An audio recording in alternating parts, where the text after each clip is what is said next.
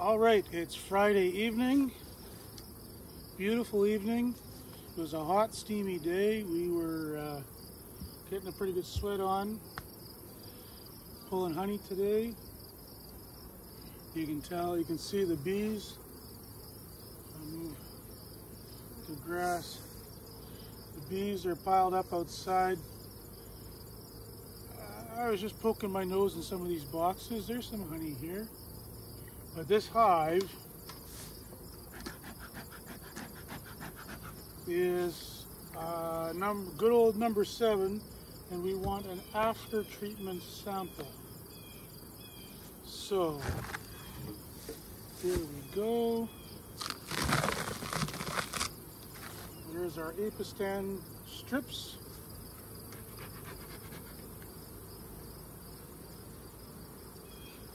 And again, for those that are keeping track at home, this is a hive that uh, has very high mite levels because it has no brood.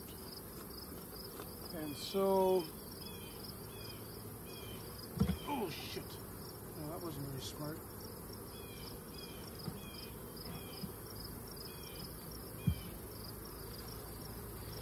It uh, has uh, kind of exaggerated mite levels.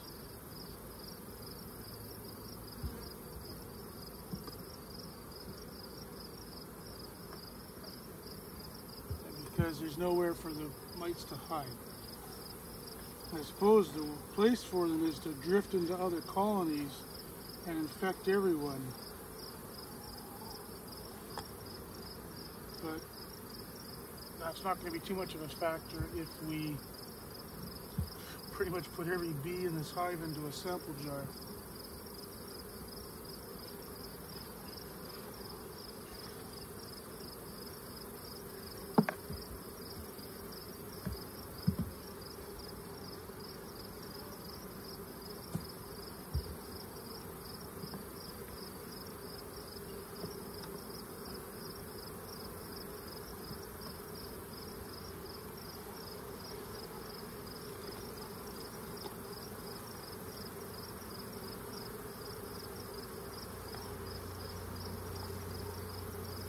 Okay, that's a sample.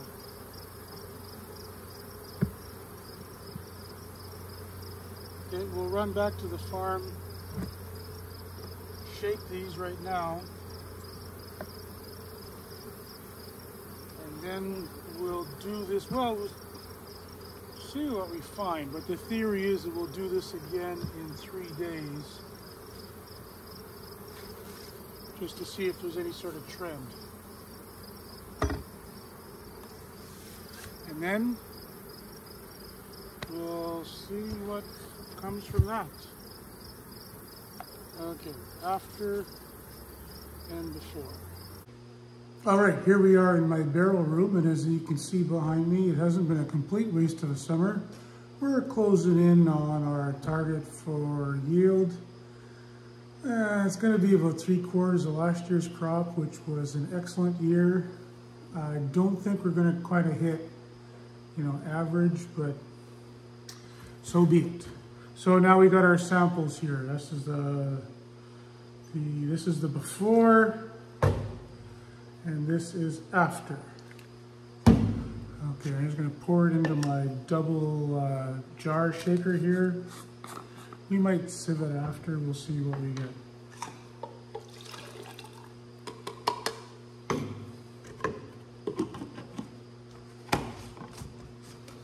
Okay. Oof. Oof.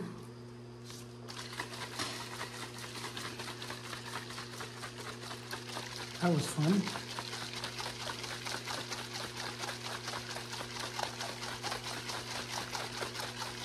Our old provincial apiarist always said, uh, you haven't shaken it hard enough unless the bees start to come apart. I think we might be there.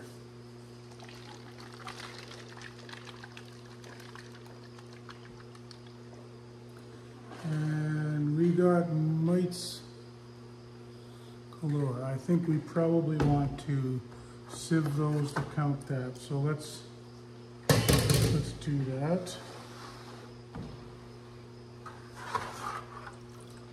Make sure we got a clean sieve to start.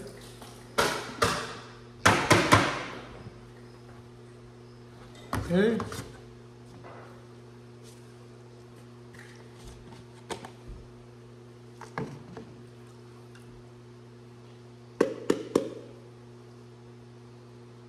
No more mites left in there. Well, that might be one. No. Okay.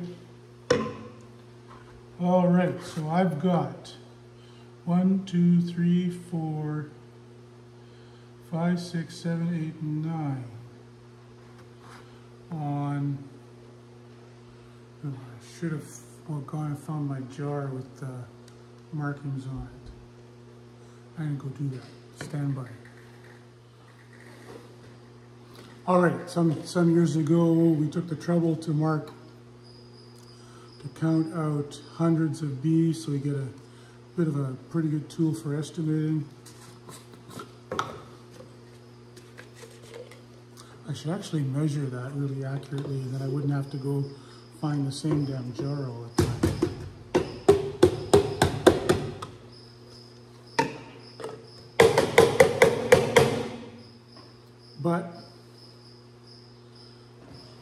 It's more than 100, but not 200. You call that 175, maybe. The 200 marking is right there.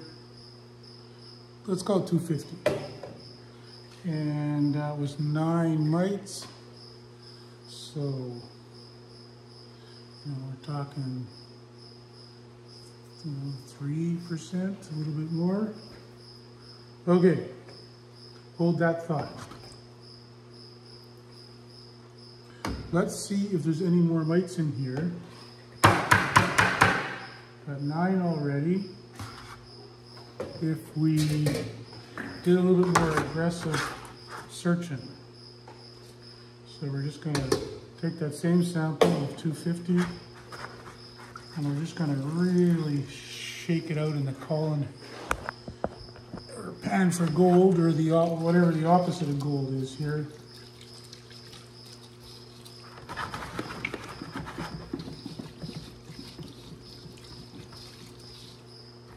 I'd be happy to find gold. I don't want to find mites.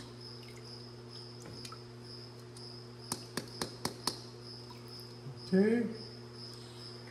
And then on the sleeve, oh, there's mites galore.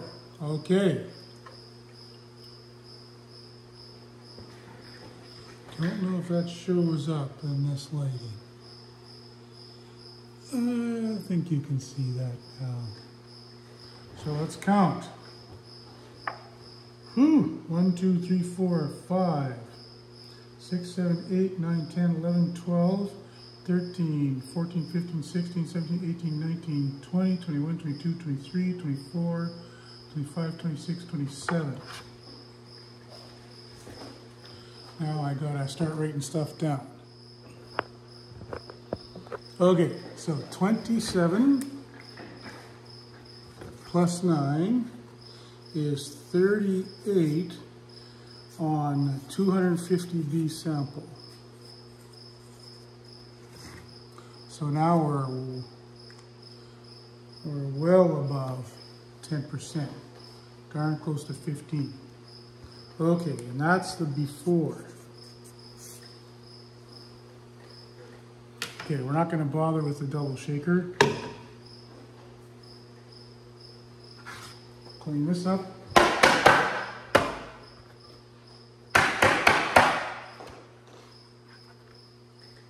Clean. We are going to, uh, for these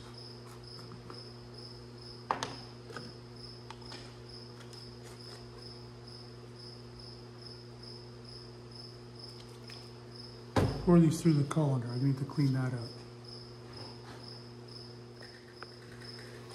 Okay, well first we want to know how many bees we got here. So we're going to dump the fluid out. And then we're going to just use our handy dandy compare our comparizer. So pretty similar sample. Maybe slightly less. Let's call that 225.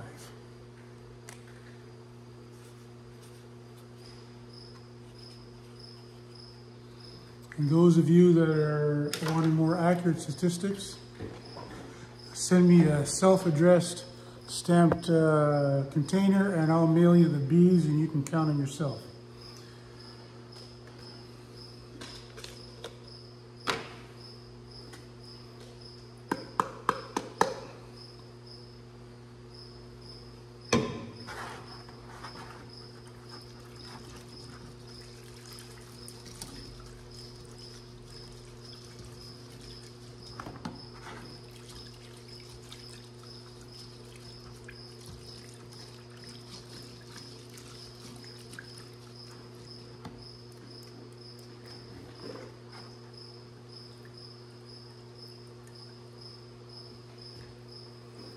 Okay, and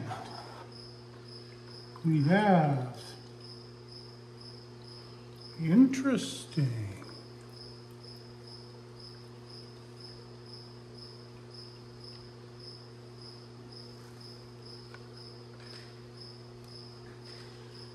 Pretty clean. I see one, two, mites. Well, there's some food for thought. Would Apivar work? Maybe. Time for more testing on more hives. I won't have as much. Well, okay, so now what I gotta do is find hives that maybe I can do some benchtop tests on, doing this in-hive sampling. This is pretty quick and pretty dirty. Uh, and it's kind of a one shot, like I don't have any other broodless hives. Oh, I will. Uh, we'll find them. Uh, so now I gotta, in my rounds next week, start looking for those broodless hives. There's the odd one that pops up when you're going through your final round take some samples of those and then the ones that are high, uh, take a live sample and an alcohol sample, go back with a nuc. There's ways, I, I got all weekend to figure out what the heck I'm gonna do next. But suppose that I show that I had let's say even 80% efficacy with Apistan strips. Pretty tempting to go to give a round of those.